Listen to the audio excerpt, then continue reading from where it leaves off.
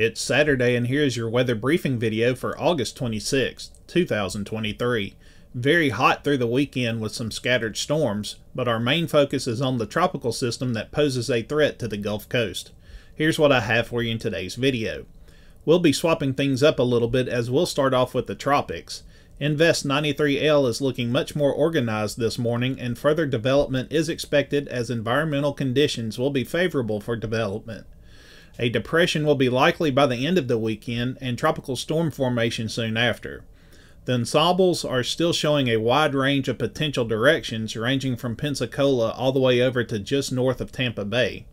Nearly every model keeps this system below hurricane strength due to increasing wind shear from an upper low, but we will have to watch because water temperatures are very warm, almost 90 degrees close to shore along the Florida Panhandle. Once this thing becomes better organized, we'll have a better idea on what to expect. The rest of the systems out there are not a threat to the United States. Tropical Storm Franklin will strengthen into a hurricane and will eventually curve to the northeast, but it will pass just to the west of Bermuda. Now for our weather. The ridge continues to slowly weaken across the area, which will allow for a few isolated to scattered afternoon showers and storms today. All of central Alabama is under a heat advisory today with highs reaching the upper 90s to the lower hundreds and heat index values reaching as high as 109 degrees. A few storms may become strong to severe over the Tennessee Valley, and the Storm Prediction Center has a marginal risk up for those locations. We'll have a surface front work through the area on Sunday that will bring an increase to shower and thunderstorm activity during the afternoon and evening, and strong storms will be possible. The Storm Prediction Center has nearly the entire eastern half of the entire state under a marginal risk. Highs will be in the lower 90s to the lower hundreds. Strong to severe storms will continue to be possible on Monday, and nearly all of central Alabama is under a marginal risk, as damaging winds and quarter size hail will be possible.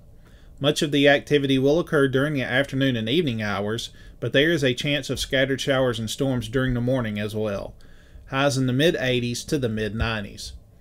After that, the forecast gets a little unclear due to the approach of the tropical system. We'll keep a chance of isolated to scattered afternoon showers and storms in the forecast for Tuesday, with highs in the mid 80s to the lower 90s. Wednesday and Thursday will be the days we'll need to watch. The GFS has the system moving onshore near the Big Bend area of Florida and scooting into the extreme southwestern parts of Georgia. Then it is progged to turn more northeasterly and move into the Carolinas by late Thursday night. If this solution plays out, we'll have scattered showers and a little bit of a breeze, especially on Wednesday afternoon through early Thursday morning. Highs in the 80s to the lower 90s on both days. And at the end of the forecast period on Friday, the system will be out over the Atlantic and we look to have a dry day with warm temperatures, highs reaching the lower 80s to close to 90 degrees. That will do it for me today. We'll have notes on the blog throughout the day. I'm meteorologist Scott Martin. Have a great day, stay safe, and God bless.